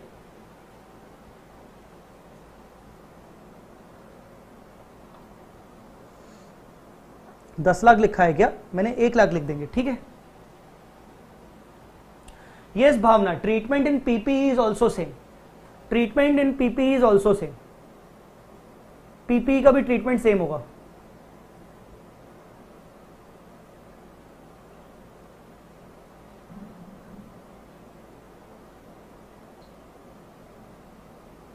is recorded classes sold through pen drive और Google drive intangible asset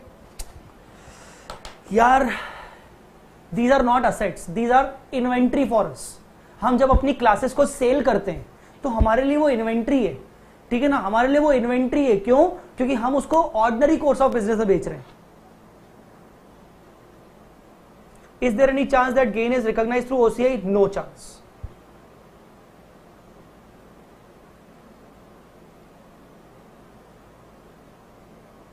yes Suman Agarwal sir you mean fair value of asset given aggregate of cash and asset को लेना है यस यस सुमन जो बच्चों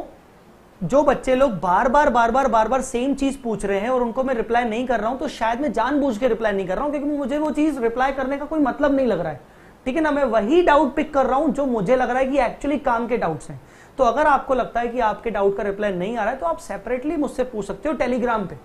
ठीक है ना इस चक्कर में आप एग्जिस्टिंग जो चल रहा है उसको नहीं सुन पाओगे उस केस में आपका खुद का नुकसान है ठीक है तो ध्यान रखिए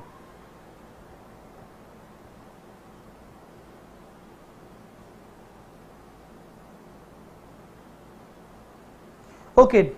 Nina, I will try that I will use I will uh, use the numbers in English. Okay.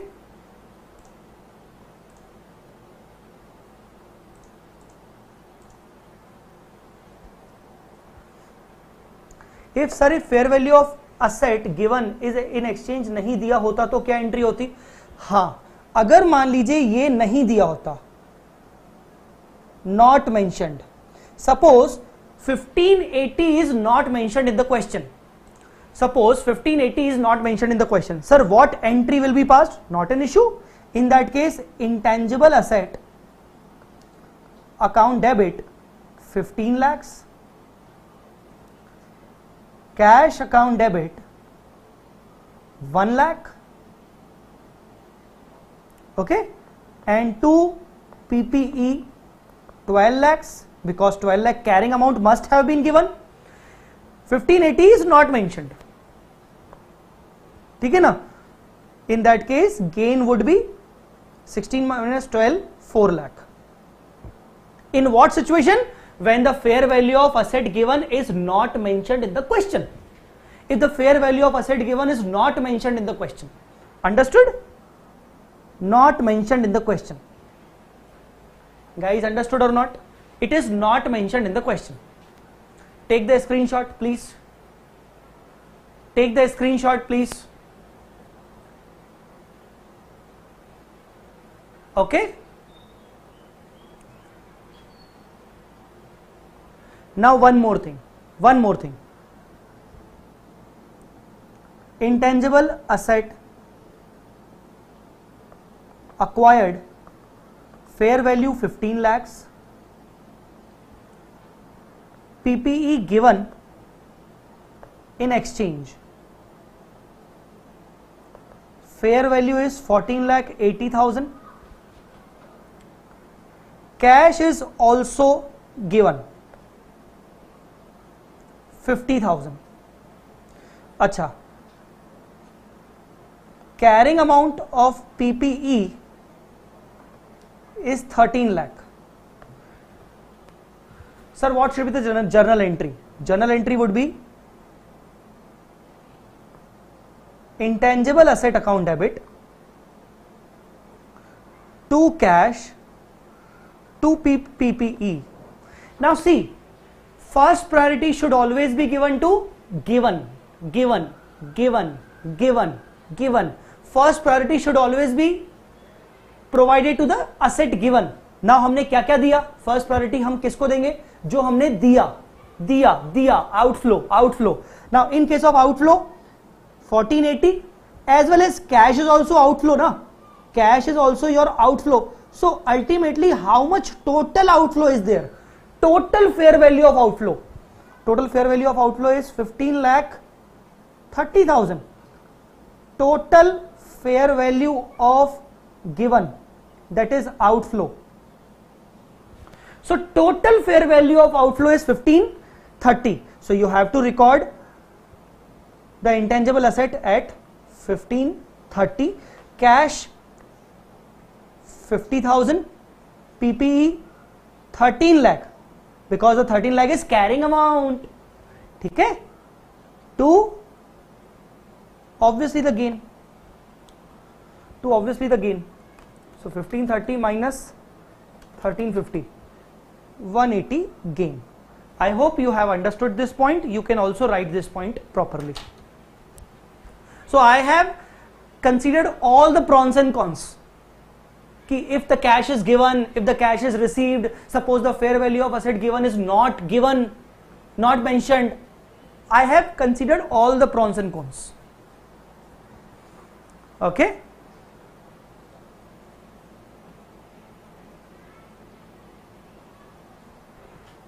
now take the screenshot 3 2 1 okay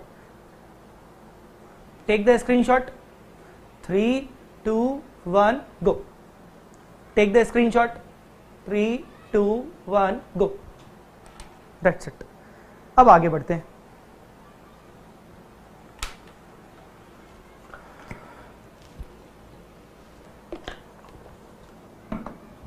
sir अब अगर अब आगे पढ़ते हैं अपन अच्छा research and development research and development expenditure ना रिसर्च एंड डेवलपमेंट पीपीई के केस में नहीं होता क्योंकि पीपीई e आप डायरेक्टली एक्वायर करते हो और अगर रिसर्च एंड डेवलपमेंट पीपीई के केस में भी होता है तो वो रिसर्च एंड डेवलपमेंट को आप सेपरेटली ट्रीट करते हो इसीलिए उसको सेपरेटली ट्रीट करने के कारण हम इंटेंजिबल एसेट में कवर करते हैं रिसर्च एंड डेवलपमेंट किसी भी चीज में हो सकता है किसी टेंजिबल प्रोडक्ट को बनाने के लिए किसी टेक्नोलॉजी इंटेंजिबल टेक्नोलॉजी को जनरेट करने के लिए डेवलप करने के लिए सो रिसर्च एंड डेवलपमेंट किसी भी चीज के लिए हो सकता है किसी मशीन को बनाने के लिए है ना किसी वैक्सीन को बनाने के लिए for example coronavirus vaccine so research and development किसी भी चीज के लिए हो सकता है इसके लिए you have to divide you have to divide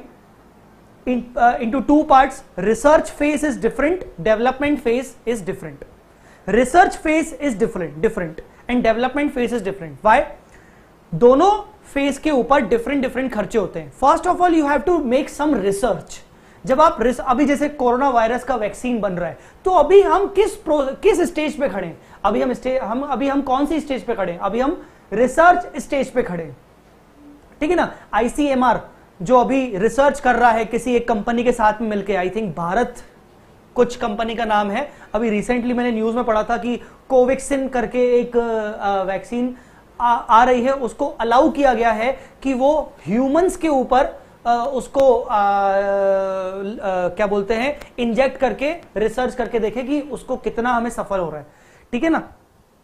so so, ऐसे केस में जब आप कोई पर्टिकुलर रिसर्च करते हो तो रिसर्च टाइम पे you can not expect to generate future economic benefits research के टाइम पर आप फ्यूचर इकोनॉमिक बेनिफिट्स एक्सपेक्ट कर ही नहीं सकते हो जब तक आपकी रिसर्च फुल फुल्ली कंप्लीट ना हो जाए and research may take more than one year coronavirus की जो वैक्सीन है उसके बारे में क्या बोला जा रहा है कि टाइम तो लगेगा उसमें भी क्योंकि जब हम उसका रिसर्च ह्यूमन बॉडी में करेंगे तो वो भी तीन फेज में होता है मैंने कल देखा था वो तीन फेज में होता है इनिशियल फर्स्ट फेज में होता है कि वो लगभग सौ लोगों पे उसको डालेंगे और एक दो महीने तक देखेंगे उसके सिम्टम्स अगर उनको लगा तो फेज टू में वो 300 से हजार लोगों के बीच में उसको फिर से अप्लाई करेंगे फिर उनके सिम्टम्स देखेंगे दो चार महीने तक फिर उसके बाद फाइनल अगर हो गया तो लास्ट थर्ड फेज में थर्ड फेज में वो मिनिमम तीन से पांच हजार दस हजार तक लोगों में उसको डालेंगे और उसके बाद जाके वो अप्रूव होगी जब उसके सिम्टम्स पॉजिटिव आ रहे हैं तो तो try to understand research phase may take more than one year sometimes it may takes three to five years also depend करता है तो at the time of research phase we can not expect future economic benefit and hence always transfer to P&L. The expenditure on research phase shall always always transfer to to P&L. It's your own तुम्हारा खुद का research है तुमने खुद expenditure किया पूरा का पूरा P&L में डाल but but but but but exception ये बहुत इंपॉर्टेंट पॉइंट है और ये पॉइंट तेरा बिजनेस कॉम्बिनेशन से रिलेटेड है ये तेरे बिजनेस कॉम्बिनेशन में आ सकता है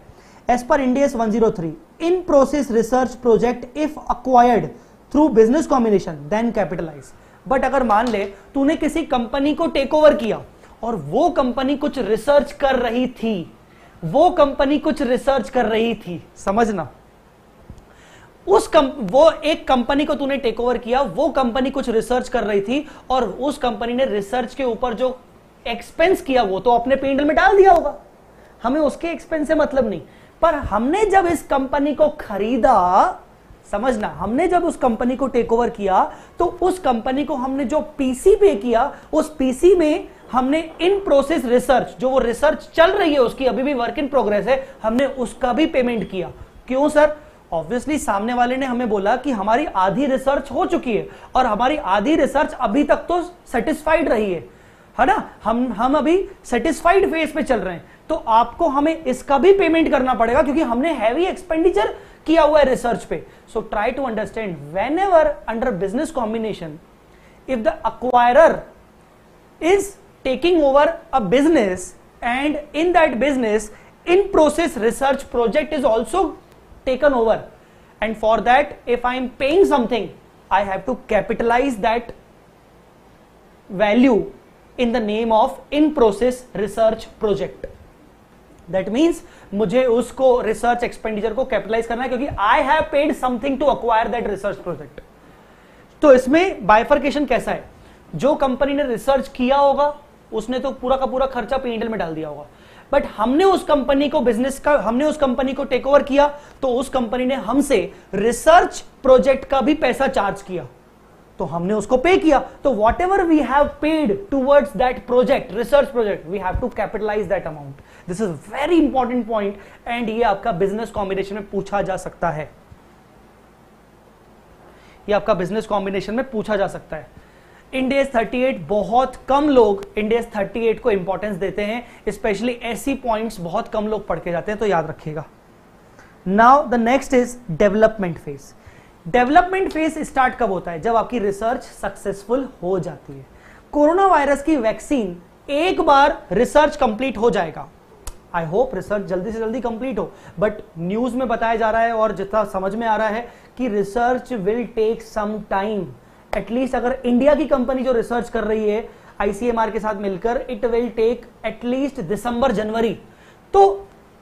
वॉट एवर अब टाइम की बात छोड़ो हम उस पर बात नहीं कर रहे हम बात कर रहे हैं डेवलपमेंट पे once the research is successful the company plan to develop this vaccine research खत्म हो गई रिसर्च करने के बाद क्या होगा प्रोडक्शन होगा इसका डेवलपमेंट होगा इसके कॉपीराइट लिए जाएंगे ठीक है ना इस डेवलपमेंट के ऊपर खर्चा किया जाएगा डेवलपमेंट के ऊपर खर्चा करना मतलब प्रोडक्शन स्टार्ट करना उस वैक्सीन का उसका कॉपीराइट करके रखना ट्रेडमार्क करके रखना ताकि उसको कोई और कंपनी ना बना सके अरे बात समझ में कि नहीं so try to understand development will start and as soon as the development phase will start what index says index says you can capitalize the expenditure on development development phase के वक्त आप कैपिटलाइजेशन कर सकते हो अगर छह condition fulfil हो जाएं अब बच्चों ये छह कंडीशन आपको रटनी पड़ेंगी मैं इसमें आपकी कोई हेल्प नहीं कर सकता मैं आपको सिर्फ समझा सकता हूं कि ये छह कंडीशन क्या है बट आपको ये पूरा का पूरा you have to learn these six steps आपको रटना पड़ेगा रट्टो रट्टो रट्टो रट्टो आपको you have to learn and learn and learn what what are the uh, what are these technical feasibility of completion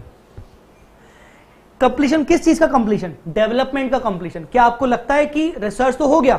क्या होता है बेटा try to understand research में इतना पैसा खर्च हो जाता है कि development को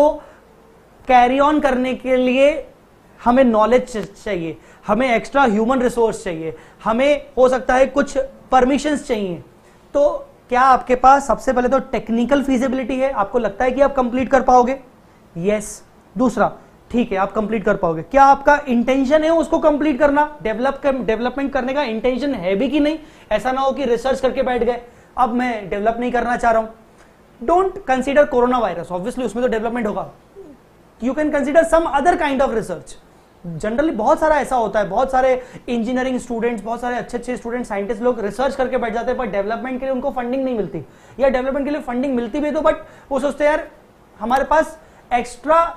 एक्सपर्ट नहीं है जिनके साथ हम मिलकर कर पाए तो you have to check the technical feasibility you have to check the intention to complete and once the intention is check you have to check the ability कि चलो ठीक है तुमने कंप्लीट भी कर लिया तुम्हें क्या लगता है तुम इसको मार्केट में सेल कर पाओगे तुम इसको यूज कर पाओगे इसकी एबिलिटी तुम्हारे पास एबिलिटी है कि नहीं उसको सेल यूज यूज करने के लिए how can you demonstrate the future economic benefit तुम्हें लगता है कि इसका फ्यूचर इकोनॉमिक बेनिफिट तुम्हें मिलेगा और अगर मिलेगा तो जस्ट डेमो दे दो इसका डेमोन्स्ट्रेट करो कैसे मिलेगा एडिक्वेट रिसोर्सेज डेवलपमेंट करने के लिए पैसा है कि नहीं है फंडिंग है कि नहीं है financial to complete the uh, development financial मतलब finance whether you have adequate resource and the last expenditure can be measured reliably क्या तुम उस expenditure को reliably measure कर सकते हो कि नहीं sixth वाला condition is not so important बाकी पांच condition बहुत ज़्यादा important है you have to learn these condition मैं कुछ नहीं कर सकता इसमें बच्चों नेक्स्ट अब मैं थोड़ा थोड़ा जल्दी चल रहा हूँ क्योंकि सारी पॉइंट्स अब पीपी की तरह रिपीट हो रही हैं measurement at balance sheet date same cost model revaluation model yes revaluation model is allowed same as A S India sixteen revaluation model पूरा का पूरा इंडिया सिक्सटीन की तरह है मतलब वही सब सब कुछ upward revaluation revaluation surplus downward revaluation P and L first time upward next time downward तो वैसा का वैसा ही है फिर रिवोल्यूशन सरप्लस कभी भी आपके पी में नहीं जाएगा वो रिटेन अर्निंग में ट्रांसफर होगा रिटेन अर्निंग में ट्रांसफर कब कब होगा पहला जब आप एक्सेस अमोटाइजेशन करोगे इंटेंजेबल एसेट का उसके बराबर का दूसरा जब आपने इंटेंजेबल एसेट बेच दिया तीसरा जब आप इंपेयरमेंट कर रहे हो ठीक है next is useful life amortisation period next is useful life and amortisation period sir what is this intangible asset having defined useful life see you have to estimate the useful life of intangible asset अब IPCC में हम पढ़ते थे A S twenty six जिसमें वो बोलता था कि maximum useful life can not exceed ten years अब ये टेन ईयर्स वाला केस यहां पर नहीं है ये टेन ईयर्स वाला केस इंडिया थर्टी एट में नहीं है so you can estimate the useful life it can be more than ten years also चलेगा but if the useful life is defined that means you know कि हाँ 12 साल 15 साल 15 years 12 years 10 years 8 years so amortise that over the estimated life amortise करो उसको ठीक है ना how to amortise what what are what are the methods to amortise first priority in the pattern of consumption of F E B second priority S L N sir pattern of consumption of F E B मतलब always give priority to the pattern of consumption means how the future economic benefits will be generated how you will generate the future economic benefits for example in uh, in the first year you will get 4 crores of benefit in the second year you will get 3 crores of benefit in the third year you will get 5 crores of benefit so 4 is to 3 is to 5 so always try to calculate the pattern of consumption किस तरीके से आप F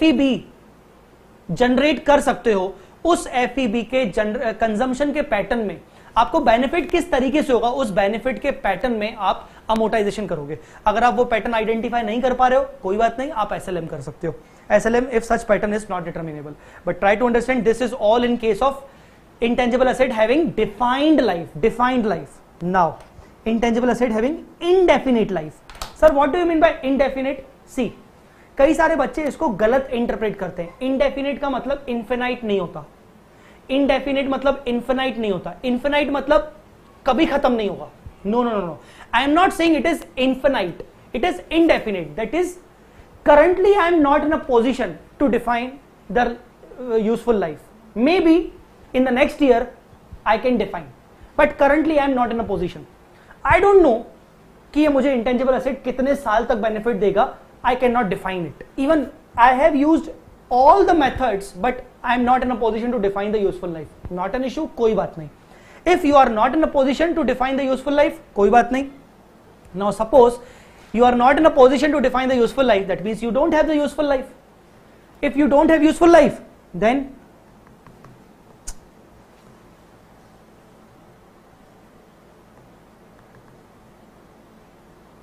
one second, one second.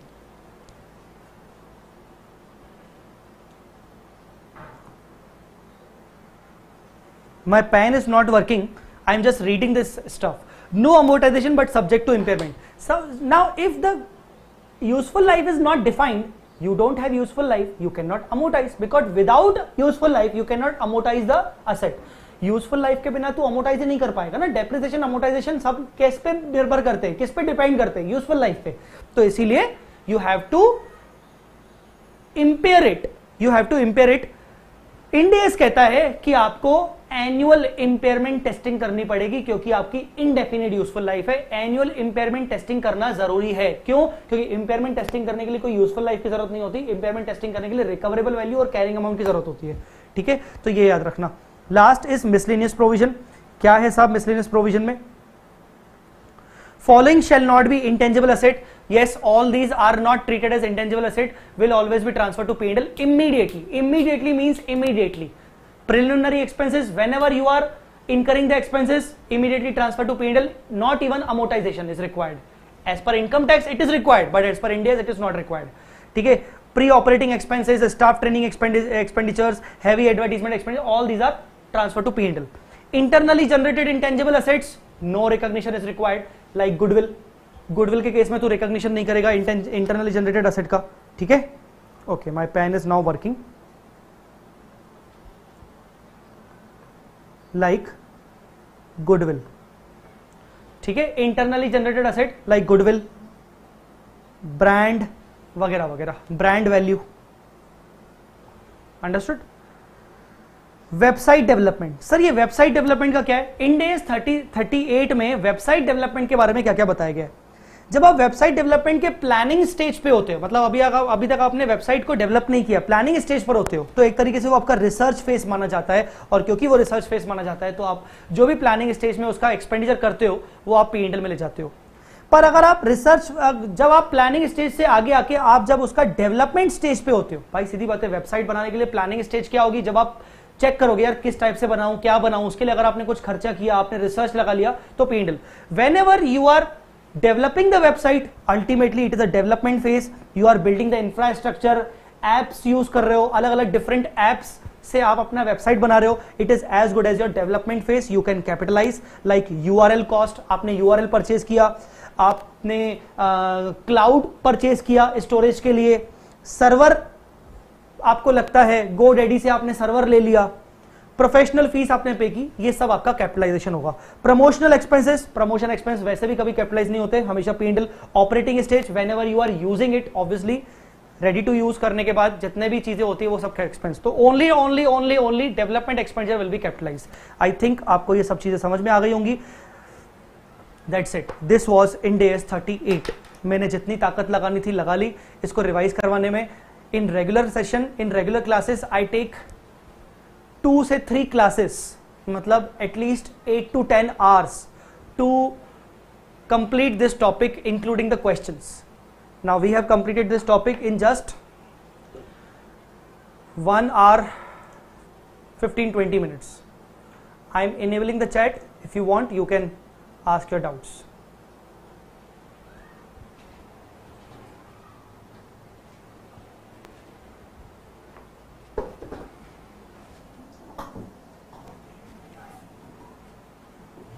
Okay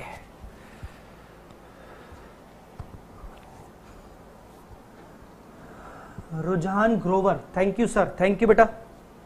thank you so much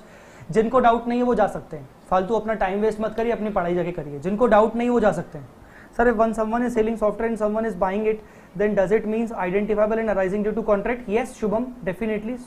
Sanjay Khandelwal sir तो asset received plus cash की value 16 lakh हो गई ना second वाले एग्जाम्पल में अरे तो मैं रिसीव थोड़ी देखना है तो मैं फेयर वैल्यू ऑफ गिवन देखना है ना भाई मेरे बार बार तो बोल चुका हूं गिवन को प्रायोरिटी दो तो तूने गिवन को क्या क्या दिया वो देखना है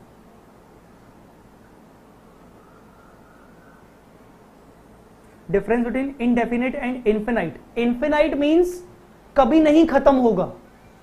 कभी नहीं खत्म होगा इनडेफिनेट मीन्स खत्म तो होगा but I can not determine कि कितना साल चलेगा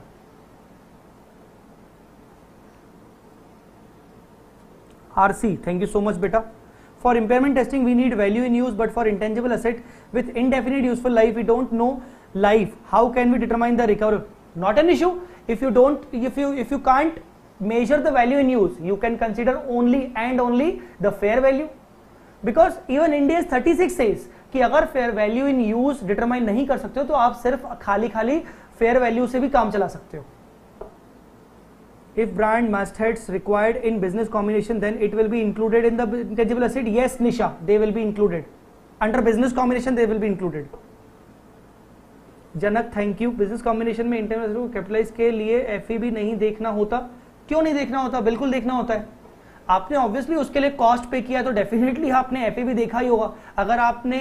एफ नहीं देखा होता आपको लगता है कि उससे मुझे फ्यूचर में इकोनॉमिक बेनिफिट मिलना ही नहीं है तो आप शायद उसके लिए कॉस्ट भी पे नहीं करते क्यों पे कर रहे हो आप आज पे क्यों कर रहे हो बिजनेस कॉम्बिनेशन में क्योंकि आपको फ्यूचर में इतना बेनिफिट्स मिलने वाला है थोड़ा सा कॉमन सेंस लगाओगे तो शायद खुद ही आंसर मिल जाएगा किसी चीज के लिए तुम अगर पे कर रहे हो तो डेफिनेटली तुम उसको फ्यूचर में बेनिफिट देख ही रहे हो ना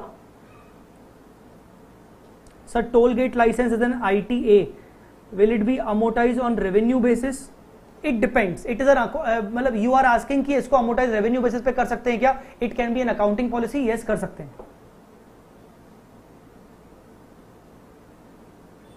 logic behind preparation of OCI इसका लॉजिक मैं इंडेक्स में नहीं बताऊंगा ये ओसीआई का पॉइंट अलग अलग है वो बेसिक्स में आता है इन प्रोसेस रिसर्च रिकॉर्ड करने के बाद अगर रिसर्च एक्सपेंस होंगे तो वो पी में डालेंगे यस yes, वो पी में डालेंगे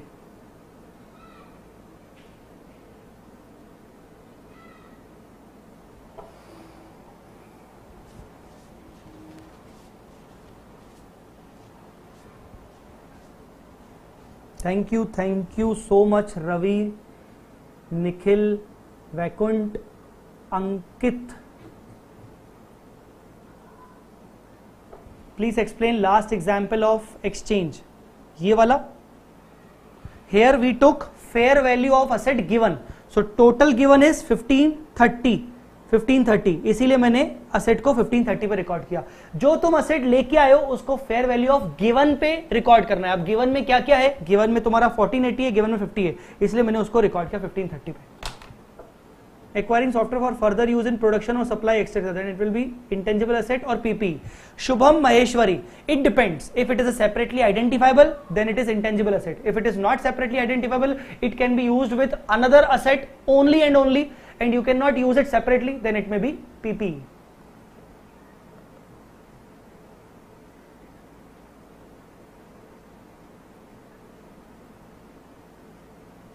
Somesh. Sir, are there any real life example of indefinite asset? See, uh, ऐसा कोई एग्जाम्पल मेरे को अभी मिल नहीं रहा है डेफिनेटली अगर ऐसा कुछ होगा तो मैं उस पर सेपरेट वीडियो जरूर बनाऊंगा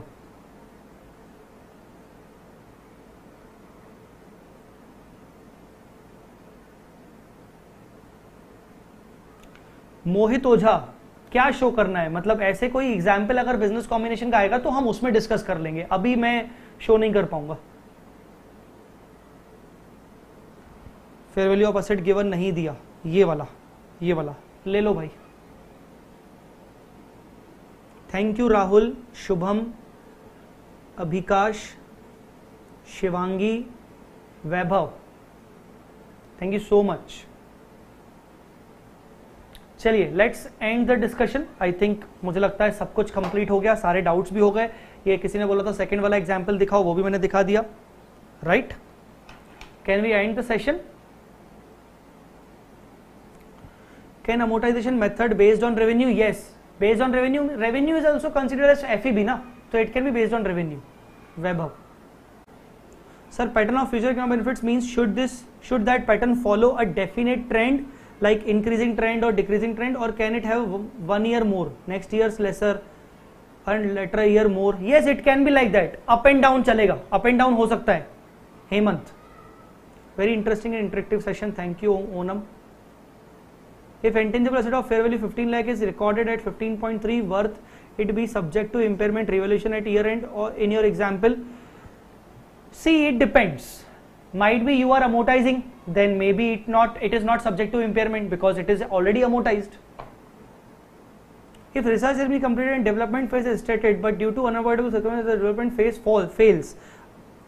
what will be the future accounting treatment entire expenditure will be written off to the pnl shubham पूरा का पूरा फिर पी में जाएगा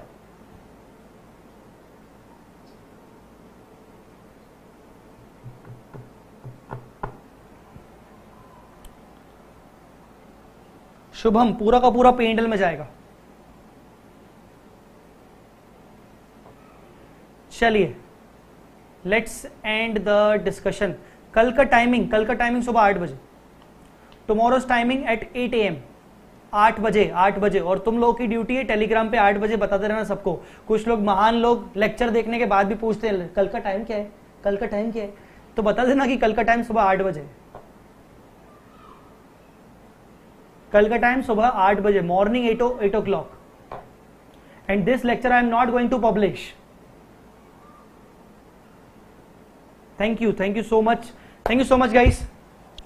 bye bye जय माता दी अल्लाह हाफिज़